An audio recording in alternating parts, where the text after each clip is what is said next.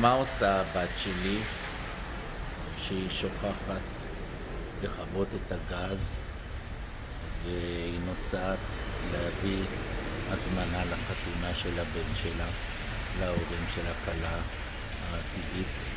היא מתקשרת לדודו, ודודו לוקח את המפתח מרינה אהובתו ונוסע לאן? לבית של הבת שלי לכבות את הגז. בשביל זה, גם בשביל זה, יש משפחה.